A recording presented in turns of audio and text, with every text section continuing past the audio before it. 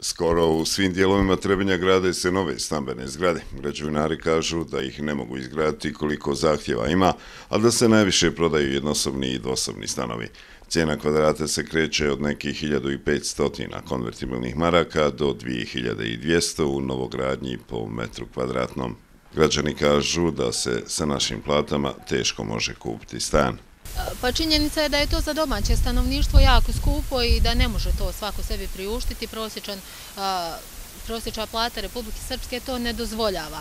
E, međutim, činjenica je s druge strane da se u Trebinju stanovi kupuju i da je potražnja velika, a potražnja uvijek i diktira cijenu. Dakle, imamo nove zgrade koje su prodate, svi stanovi su popunjeni, ali tu, nažalost, slabo ko živi. Pa to je za naše uslove platežnu moć nenormalno visoka cijena. Zamislite za jednog radnika bilo gdje da radi koji ima prosječnu platu 500 maraka, koliko mu trebalo plata da ništa drugo ne troši pa da bi kupio taj stan. Znači neko ko bi eventualno kupio taj stan kupit će ga na kredit.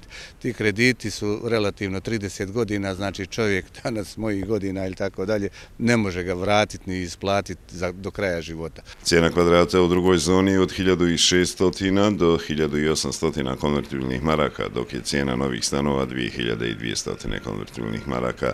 U Agenciji za prometne nepokretnosti kažu da je najvjerovatniji razlog za ovako visoke cijene povećanje plata jer je radne snage sve manje.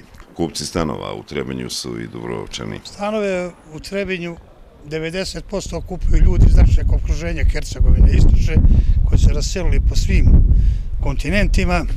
Najviše u zadnje vrijeme je dolazak ljudi iz Dubrovnika, okoline Dubrovnika, prodali su svoju imovinu i ovdje im odgovara blizina svoga rodnog mjesta i tu su kraj života planirali da da završe. Pa jedno vreme, znači, veliki broj ljudi koji kupuju stanove u Trebinju bio u stvari, bili su naša dijaspora.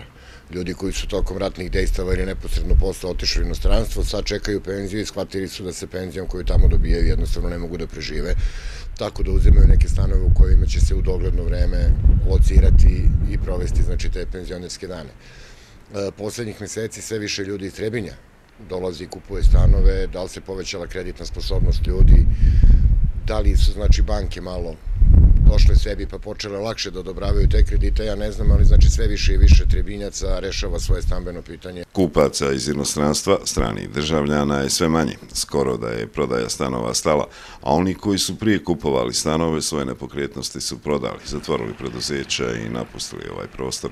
Do informacije koliko je stanova izgrađeno 2019. godine, a koliko se gradi ove godine, nismo došli pošto je načelnik odjenjenja za urbanizam Trebinske gradske administracije na putu.